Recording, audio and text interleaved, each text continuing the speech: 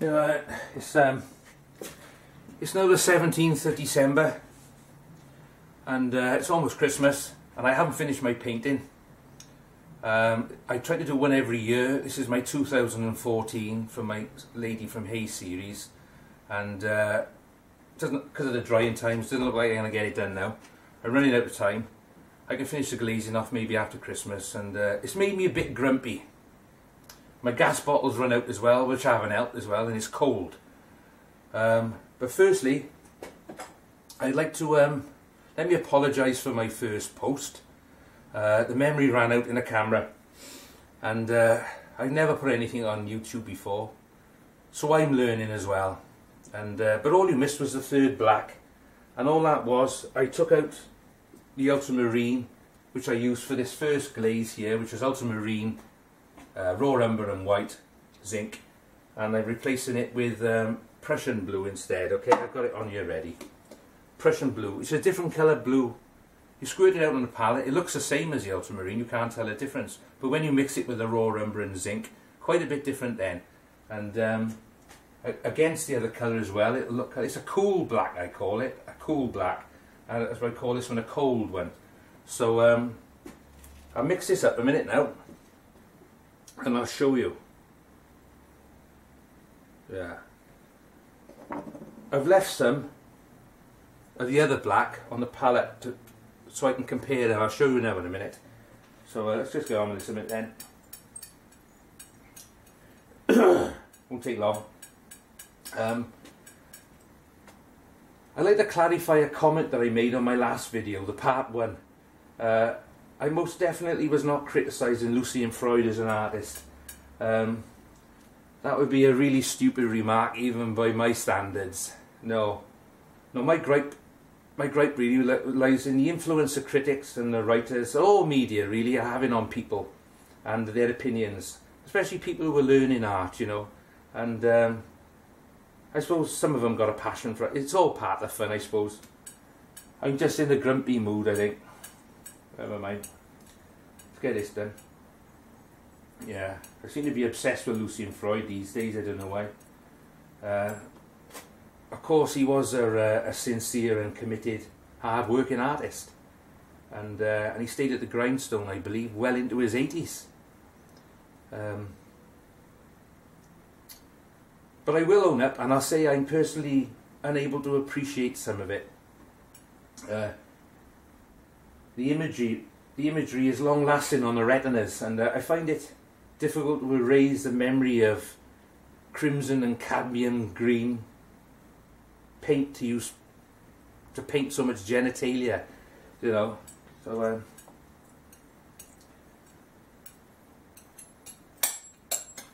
there's um, scary paintings can upset sensitive people, I think, you know, and um, especially children. I've got a, I've got a painting in the rack here, um, which I didn't realise. I'll show it to you.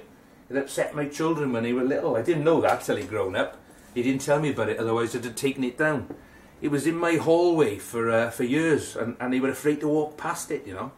And all it is really is a is a painting of a of a lady with a. I'll show it to you. You are. It's a Victorian watercolour. It was painted in 1896. There you are. Can you see that? Or is there's a light shining on it. And she was admired for uh, growing flowers in Llantarnam.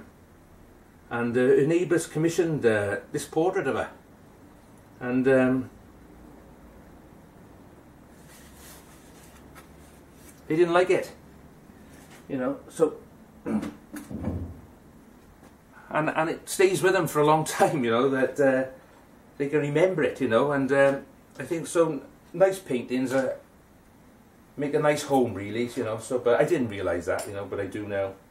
So, um, yeah. Um, I was watching the visitors at that uh, and Freud show, and I was wondering, is it a bit of the uh, circusy freak fascination thing that appeals to the morbid section of our curiosity killed the cat mentality. I don't know. I don't know. But whatever. After an hour in there, it put me off wanting my sandwiches and um, it was a nice relief really to get outside into the sunshine. And as I stepped out, there was this homeless guy, or I guessed he was a homeless guy, leaning against the railings. So I asked him, would he like to have my sandwiches? And he said, what, what's in them? I said, ham. He said, no. I said, is that because you've just been in there and seen the Lucian Freud fleshscapes? And he said, ah! I was, well, I was glad to get on the bus back home, to be honest with you. And, uh, well, anyway, let's get on with this a minute. Bit more zinc.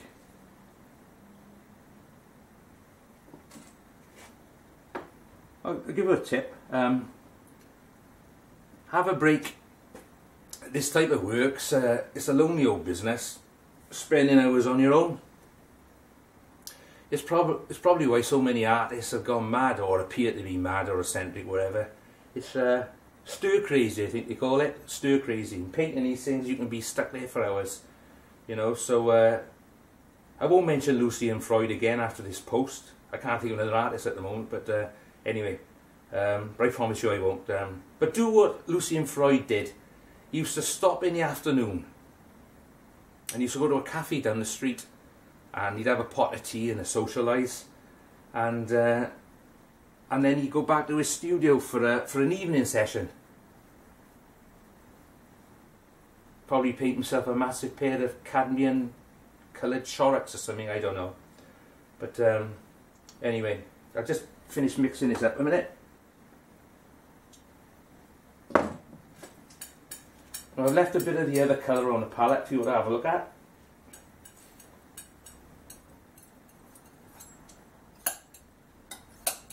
That's a bit of the that one there, and I can show you the two. In fact, I, I need a bit more raw umber in this one, but I won't do that now.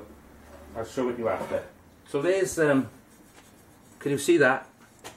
That's the, uh, what I call the cold one. That's with the ultramarine blue, and the raw umber and zinc. And this one here is graded down with the Prussian blue. And together, look, they quite a, quite a, quite a, quite a different colour. Okay? Make a big difference when you put your glazes and your, and your underpainting on top of that, which we haven't got to yet. Here's another tip.